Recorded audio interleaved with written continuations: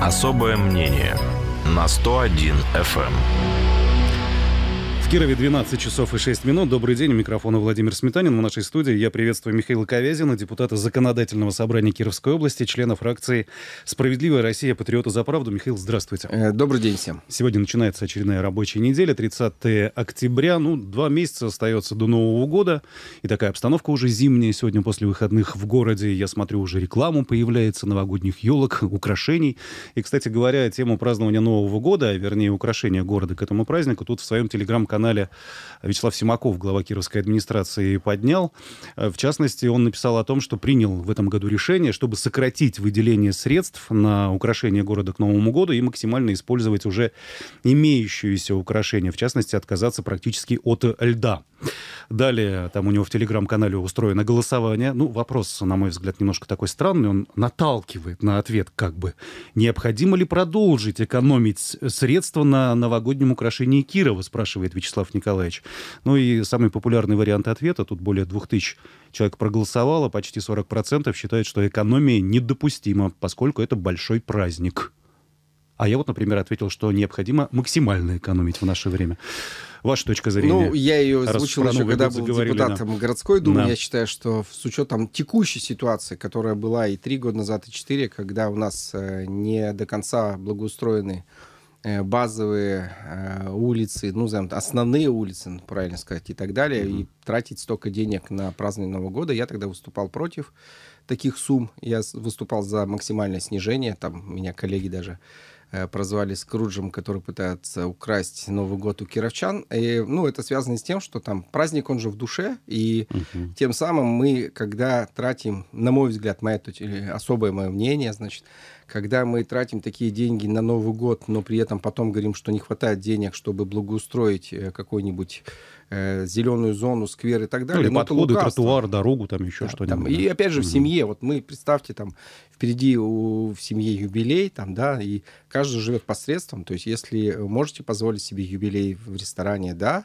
но если вы живете э, достаточно скромно, то никто не будет тратить последние деньги вот на это. Вот почему-то в рамках... Ну, не факт. Есть такие люди, которые ну, считают, что разумно ах, гульнем раз, ну, разумный, раз живем, а разумный, а бы нет, э, скажем, все-таки же метод это mm-hmm. Жить посредством, и я всегда поэтому говорил, и мое мнение изменилось, mm-hmm. что, повторюсь, ориентироваться в празднование Нового года на Москву или на другие города не стоит, и здесь повторюсь, Э, нужно сделать так, чтобы оно было вся в соответствии. И не тогда, если вы делаете великолепный, хороший Новый год, ну тогда не говорите, что у вас не хватает. А такие ответы есть. Не хватает 100 тысяч, 150 тысяч, угу. чтобы залатать какую-то базовую историю в детском саде, э, саде, там, школе и так далее. Вот я про это. Именно в этой точке зрения, а не то, что там Новый год нужно отметить. У меня день рождения 31 декабря, это мой любимый праздник Новый год, так что я только в этой части. Вы тоже сталкиваетесь с такой ситуацией, когда люди поздравляют друг друга с Новым годом, но забывают, что у вас день рождения? Ну так. Нет, никогда такого не было. Благодаря вашей радиостанции сейчас еще больше людей узнают,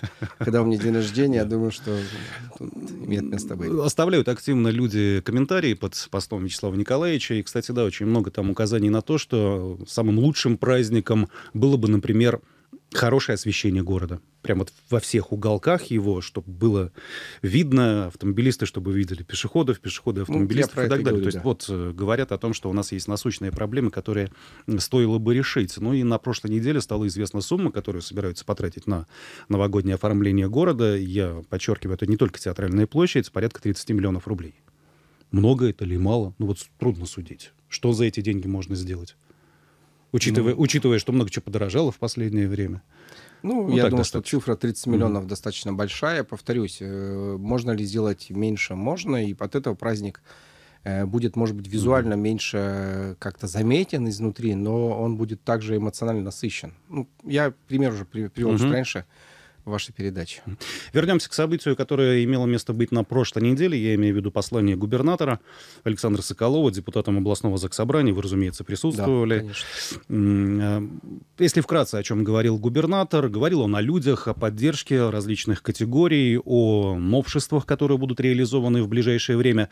Как вам, такой с общей оценки послания хочу на, э, начать, как вам это выступление? Услышали ли вы то, что хотели услышать? Может быть, чего-то не хватило?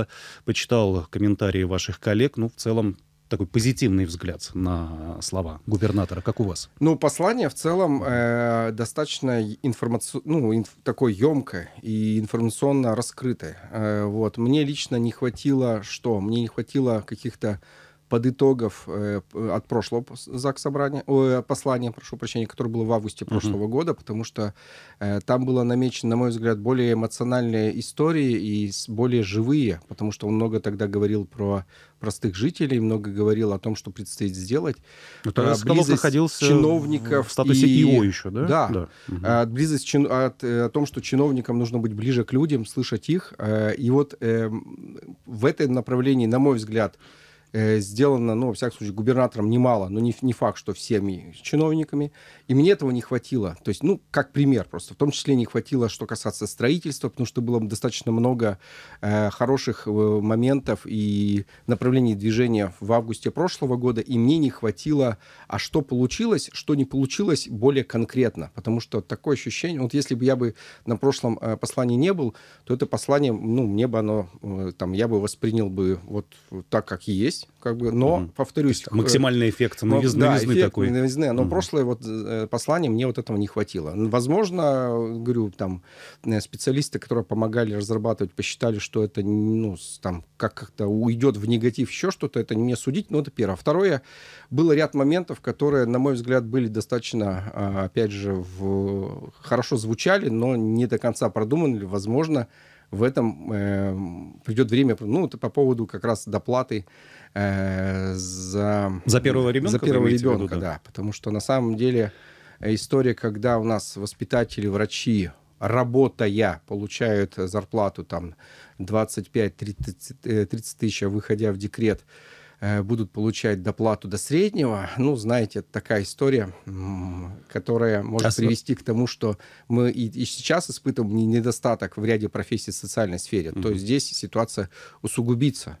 Вот, тем более, что вопрос средней зарплаты там, он достаточно... Сам имеет... губернатор озвучил, да, ведь сумму 46? Да, 46, 46 да. тысяч рублей да. по региону. Ну, mm. во-первых, средняя зарплата — это не э, медианная зарплата, чтобы вы понимали. Там, если есть 5 минут, буквально скажу, Давайте, там, да. люди, коллеги, э, кто, ну, знаком с математикой, может э, меня подтвердить или посмотреть в интернете.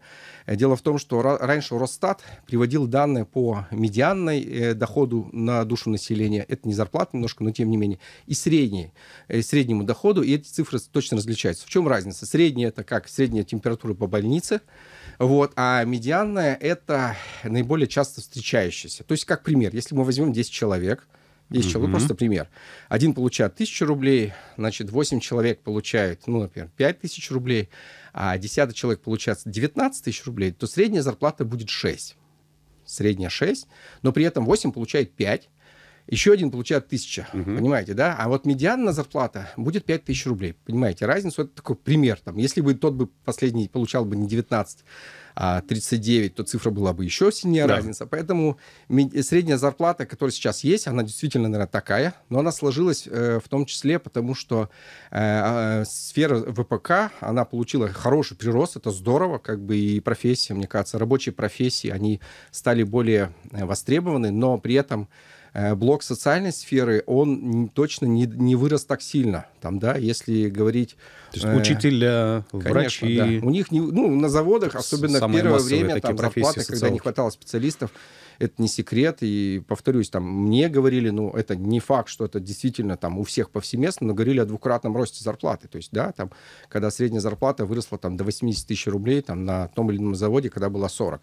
И это повлияло, так у нас доля ВПК достаточно большая, ну, там, могу ошибиться, на уровне 20% от э, всей промышленности, может быть, даже больше, то, безусловно, средняя зарплата выросла, но, повторюсь, это не все люди. И это как бы, если мы сейчас будем всех э, выравнивать по этой сумме, то мы, повторюсь, можем столкнуться, это как пример просто, если мы там не доработаем до конца, можем столкнуться с тем, что, да, рожать будут, э, уходить декрет, сори, там будут больше, но, опять же, мы увидим провал в другом. И, на мой взгляд, э, более правильно... Ведь почему люди не заводят иногда первого ребенка? Ну, потому что чувствуют, что не защищены. Я не задавал себе этого вопроса, когда ребенок появился первый в семье.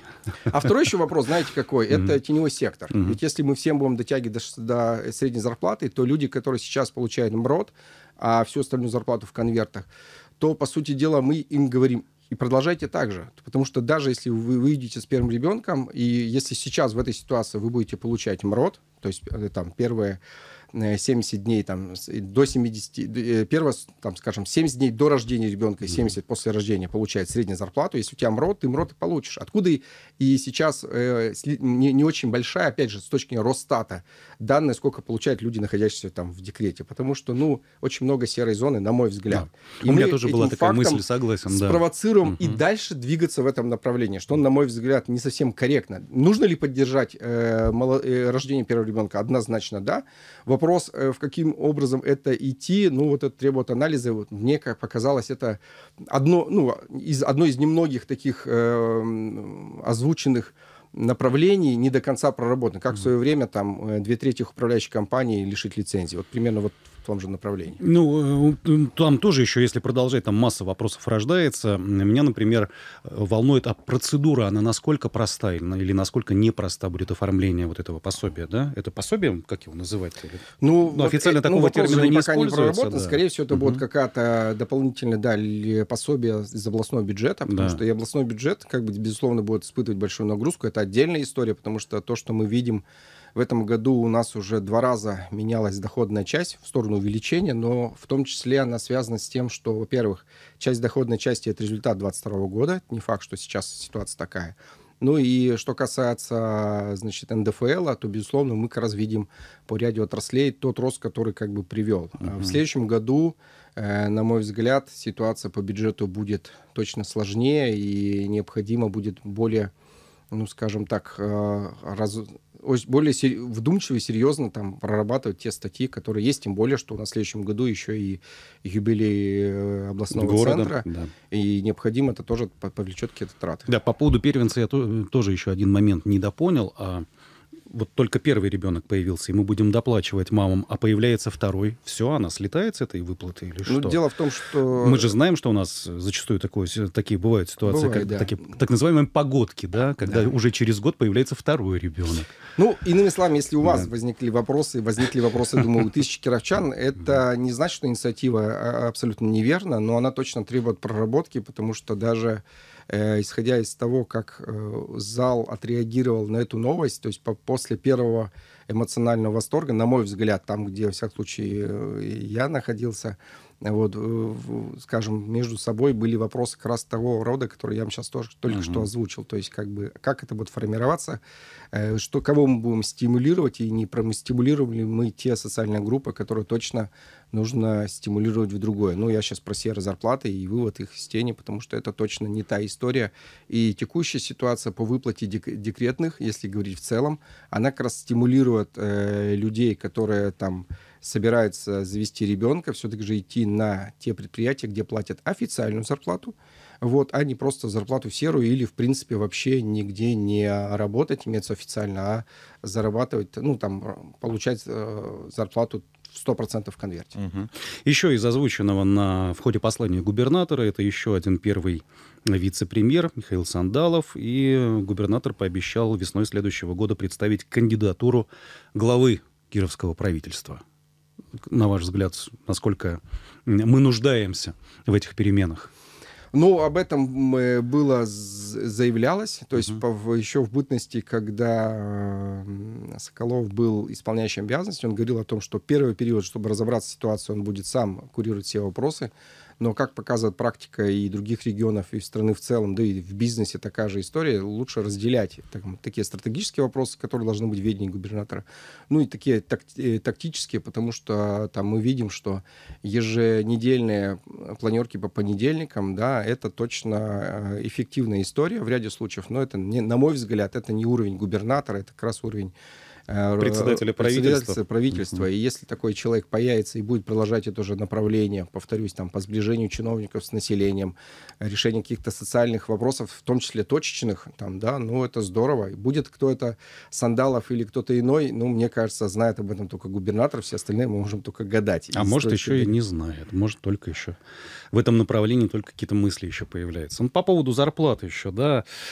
не секрет, что у нас регион входит в список субъектов, где зарплаты растут по крайней мере, на бумаге, да. Средняя. Средние зарплаты, да, зарплаты. растут самыми быстрыми темпами. И вот такой контраст получается. Тоже в конце прошлой недели появились результаты опроса, проведенного компанией Headhunter. Согласно этим, этих данных, более половины жителей нашей области, а, вернее, 51%, им зарплаты не хватает на самые основные расходы. А еще треть респондентов заявили, что, в общем-то, денег хватает, но надо стараться, чтобы свести, э, ну, не то чтобы концы с концами, но вот на основные какие-то жизненные траты, чтобы денег хватило. Итого 80 с лишним процентов жителей нашего региона, но они, мягко говоря, недовольны уровнем дохода, который у них есть. Вот плюс 15-20 бы тысяч, сказали респонденты, вот было бы тогда более-менее хорошо. Ну, Настораживает. Здесь два фактора. Да. И вот то, что угу. первый фактор, это и то, что я говорил, средняя и медиана, потому угу. что если никто не знает, Росстат дело в том, что перестал публиковать данные между медианой и средним в 2020 году. То есть уже последние трех лет э, никто не знает, кроме Росстата, ну и, естественно, тех, кто кому положено знать, в чем эта разница. На мой взгляд, она усиливается, потому что даже если взять 2020 год, то по Москве а, разница там почти несколько раз отличается, то есть медианная и средняя. Uh-huh. То есть это говорит о расслоении общества. То есть поэтому, во-первых, часть людей, которые не видят э, большого роста зарплаты и не видят зарплаты 46 тысяч, они фактически действительно испытывают потребность. Но здесь еще второй фактор, и сказать сложнее, какой важен, это когда человек какую бы зарплату не получал, Э, вот, через три месяца считает, что ее недостаточно, меняются потребности, и поэтому спроси любого человека, который получает зарплату там 20 тысяч, сколько нужно, он скажет 30, через три месяца он скажет мало, потому что не потому, что он забыл, что было раньше, у него меняются там такие затратные части, но это вопрос уже там Ну, то есть, иными словами, чем там, больше получаешь, тем, да. ну, тем больше Поэтому хочется. здесь два да. фактора. Угу. Я э, там по ним верю, что такое исследование получило, и поэтому спросив сейчас людей даже с зарплатой 46 тысяч рублей, вот, я думаю, что пропорции, может быть, другие, но не все будут довольны, хотя э, там с точки зрения, опять же, Росстата, это выше прожиточного минимума, это uh-huh. закрывает потребительскую корзину и так далее. То есть поэтому задача, наверное, государства э, заниматься тем, что все-таки же, э, во-первых, э, медианная зарплата, на мой взгляд, должна быть очень близко к средней. То есть это говорит о том, что расслоение с точки зрения зарплат минимально. Вот. А во-вторых, э, все-таки же эта вот медианная зарплата должна быть закрывать точно базовые потребности и и тогда э, люди будут стремиться жить в этом регионе, в этой стране, в этом городе. Хорошо, перейдем и еще к одному событию, еще к одной теме, которая получила широкое обсуждение на прошлой неделе. Я имею в виду законодательную инициативу вашего коллеги Дмитрия Русских, руководителя фракции «Справедливая Россия. Патриоты за правду». Мы говорили с Дмитрием Михайловичем тоже на прошлой неделе а, по этой теме. Имеется в виду распространение или расширение действия регионального закона о тишине на садоводческие товарищества. Дмитрий Михайлович уверен в том, что люди на свежем воздухе а, в, собственно, садовый, садово-огородный сезон должны отдыхать, но отдыхать им мешают компании, которые приезжают в сады и огороды отдохнуть, устраивают вечеринки там какие-то, допоздна гуляют. Вы поддерживаете Да, я высказал свою точку начинание. зрения. Я поддерживаю uh-huh. целиком данное начинание. Дело в том, что здесь нужно понимать, что приобретая участок э, в СНТ, ну, садоводческом товариществе, мы берем на себя ряд обязанностей. И сейчас, к сожалению... Как и в а, городе приобретают Как жилье, и в городе, то, да. То, то самое, да. Мы же как говорим, хотите пошуметь круглосуточно, купите себе э, такую квартиру, чтобы соседи вас не слышали, купите дом. То же самое касается СНТ, когда коллеги, э, другие коллеги, кто не поддержал инициативу, говорили о том, что ну как же так, неужели нельзя сходить в баньку и так далее. Можно, но соседи вас не должны слышать. Дело в том, что у меня в округе достаточно много садоводческих товарищей, и жалобы такие есть. И сейчас председатель э, ну, вот этого садового э, общества, он не имеет никаких полномочий, чтобы регулировать процесс. Каким-то образом воздействовать да, да, на тех, кто регуля... нарушает. Появится, uh-huh. да, будут какие-то Э, моменты, нужно наработать практики, как это все делать, куда будет выезжать э, в том числе полиция, потому что есть э, СНТ, которая расположена как бы в Кирове, но находится далеко за пределами. Вот, там. вот.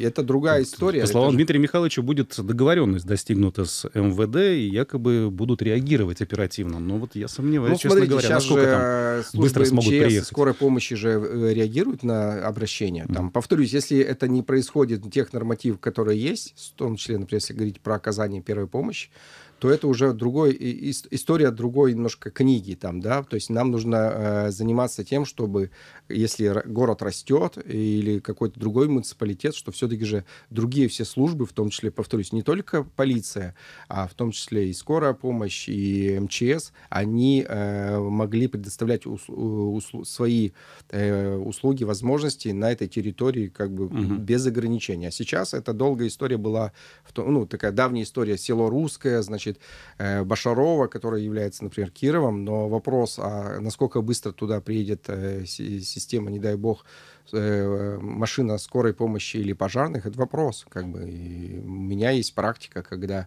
в садоводческое товарищество, повторюсь, в том районе приезжала через uh-huh. несколько часов, как бы вот uh-huh. это другая история. Поэтому я считаю, что закон правильный, нужный, вот, э, и он позволит всем нам жить, повторюсь, в тех условиях комфортных, которые нужно. А вот если э, та категория людей, которые хотят э, всю ночь отдыхать, гулять, это же не возбраняется. Но вы себе, повторюсь, купите э, дом в том месте, чтобы рядом никого не было. Таких возможностей в Кировской области, в отличие от такой Швейцарии, еще сотни и миллионы мест, поэтому поставьте там дом, баню, и никто и вас гуляйте, не будет слышать. Да. Ну, понимаю ваш посыл, да. Начинать нужно с себя. Требования к себе нужно предъявлять. Но если откатиться на 20 лет назад, да, там же звучали э, такие доводы от ваших коллег-депутатов. Ну что ж мы молодежи это все запрещаем?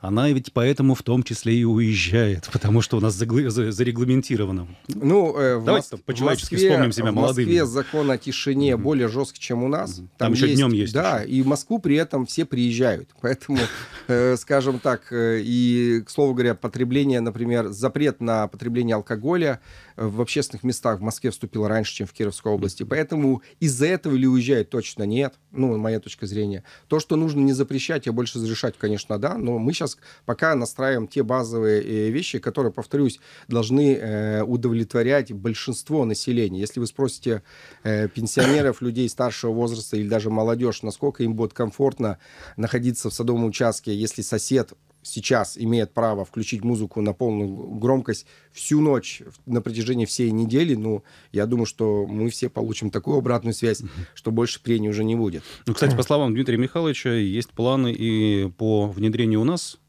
тихого часа днем с 2025 года, если не ошибаюсь, он у нас говорил об Такие этом в эфире. планы есть, есть да, да, опять же, угу. город э, активно растет, появляется много молодых семей, несмотря на то, что пока мы еще не вышли там из такой демографической ямы, но тем не менее, и, безусловно, они э, сейчас не защищены, когда ребенок их днем спит, а формально Э, строительные работы могут продолжаться. Да, то есть, соседи, в первую очередь семьи с детьми, да, с ну, грудными с детьми, маленькими. с пенсионерами. То есть сейчас э, пытаются по-соседски договариваться, но не всегда это получается, и закон, по сути дела, не на их стороне. Поэтому это же не те ужесточения, которые мы делаем сверх. Это, повторюсь, те базовые истории, которые мы должны как цивилизованное общество сделать. И, угу.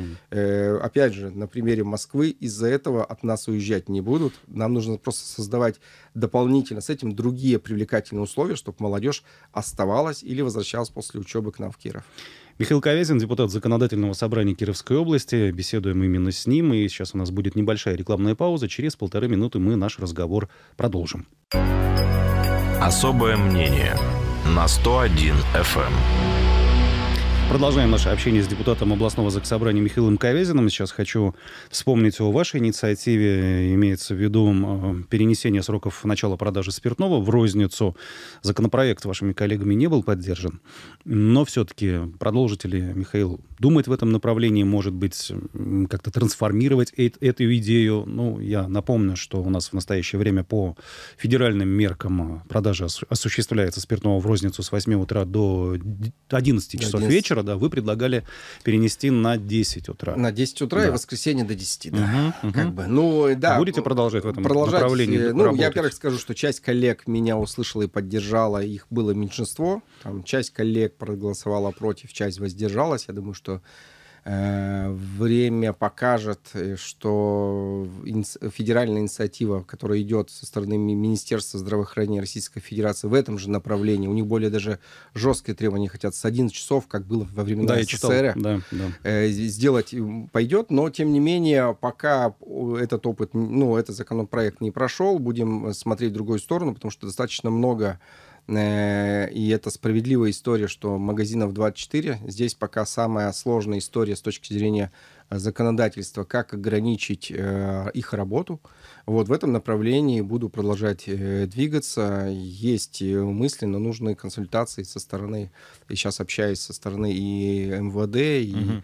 и других э, органов, для того, чтобы мы действительно... Э, закрыли лазейки для не чистоплотного бизнеса, а для тех, кто работает в рамках закона, их не пострадал. Потому что, мой, повторюсь, моя инициатива про изменение срока, это не про бизнес-историю, это про социальные, э, про социальные моменты, связанные с тем, что не, не для того, чтобы там э, бизнес еще сложнее стал жить, а для того, чтобы mm-hmm. наше общество все же при равном выборе сделало э, правильный выбор. И меня очень радует, что в процессе обсуждения Ко мне было очень много обращений со словами поддержки от э, педагогического состава школ, э, детские садики, которые говорили о том, что да, проблема такая есть, на их взгляд, когда э, мы э, сейчас, по сути дела, э, открываем такие ворота в, в не самые радужные перспективы, когда подрастающее поколение воспитывается на несколько других форматах, когда видит, что алкоголь это нормальная ситуация, там, mm. да, и как раз э, перед этим, который мы приняли законопроект, который ограничивает продажу алкоголя и который я всемерно поддерживаю, но повторюсь, он вышел по инициативе прокуратуры, вот, и Мы имеем считаю... в виду поправки, которые вступили в силу с 1 марта, да, да с 1 марта, года, да, ограничения. С 1 марта ограничения, угу. это по местам из, если бывший, э, значит, перевод был из жилой в нежилой, да, это многоквартирных домах, это, да. да. Угу. Это правильная инициатива, и вот э, хорошая новость, что сейчас уже появились первые положительные решения суда по ограничению э, уже торговли после того, как Эм, прокуратура выходит в суд. Да, через суд процесс не быстрый, но тем не менее э, у меня есть уже обращение жителей, которые просят практически помочь и подсказать, с чего начинать. И угу. это направление двигаться, повторюсь, там, и нам, я продолжу историю, связанный с тем, чтобы у людей э, остался выбор. Повторюсь, я не за категорический запрет э, торговли алкоголя в целом, из, не за вынос его там за город Киров,